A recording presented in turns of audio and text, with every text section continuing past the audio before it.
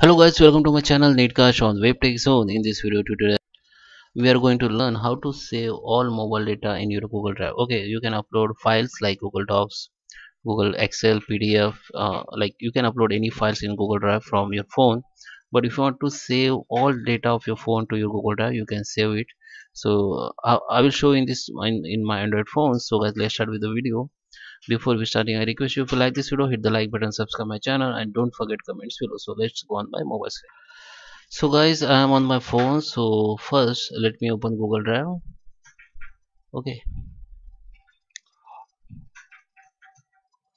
So you have to open your google drive log in with your account. Okay. So whatever you save in google drive it will be saved in google this account. So whenever you uh, log in with another device or another phone you have to log in with this email id only which you, you are using in google drive. Okay.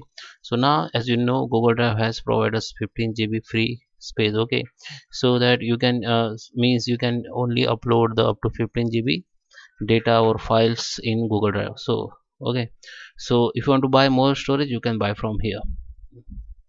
Okay so now if you want to upload in google drive you can upload from here just click on plus and here you can upload from here. For this you can uh, in these features you can use uh, you can only upload the files like jpg files excel file docs files and any other files pdf files. But you can't upload the folder. If you want to upload folder you have to use the uh, desktop or you can use the chrome browser. So you know okay in chrome browser so you're not able to upload folder for that you have to use your computer only okay? But in this video i will show you the trick where, which you can use and you can upload your all mobile data to your google drive. So for that you have to uh, use the file manager application go to the play store and type file manager here.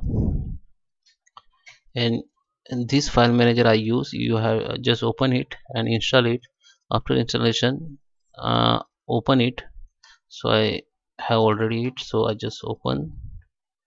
So you can see this for this file manager view like this. Now go to the internal storage. If you have two storage then you have to follow the same step for the two storage. Uh, I have only one storage which is internal storage so I just open this. And now you can see I have lots of folder. I have uh, I think 10 plus folder here so what is the trick you have to use? Just select the one folder by clicking on it and hold for one second.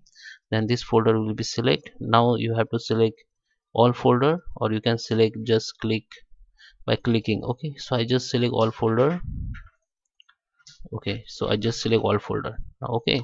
Now go to the more and go to the compress. Now uh, give the name like i can give the name like my mobile data on.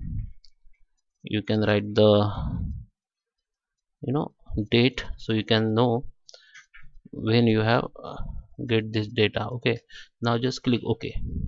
So this is uh, the zip file will be created okay?